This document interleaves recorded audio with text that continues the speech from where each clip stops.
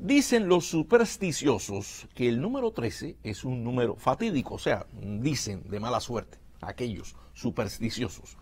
Pero supersticiones aparte, lo cierto es que fueron 13 las personas que hoy se quedaron atrapadas en el interior de uno de los elevadores del edificio de justicia que presentó fallas luego de la conferencia de los jueces que usted vio anteriormente.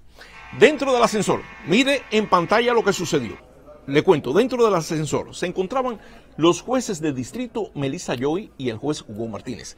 La alarma del elevador sonó durante varias ocasiones activada por las personas que estaban adentro. Oficiales del edificio instalaron ventiladores para de esta forma refrescar el elevador por una rendija que lograron abrir para que las personas angustiadas empezaran a poder respirar, ya que se estaban quejando de la falta de oxígeno. Miembros del departamento de bomberos llegaron a socorrer de inmediato a las personas. Una de ellas, que fue rescatada, relató los momentos de pánico que vivieron al sentirse encerrados en el ascensor cuando éste dejó de funcionar de repente.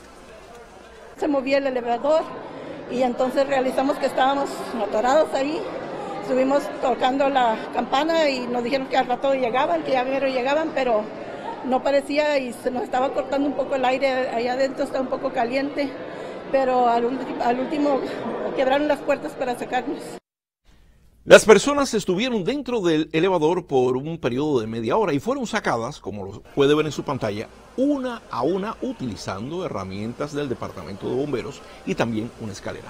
Afortunadamente, los 13 ocupantes del ascensor resultaron ilesos, pero el tremendo susto que sufrieron, no señor, no señora, ese no se los quita nadie. Otras personas en el área aseguran que no es la primera vez que algo así sucede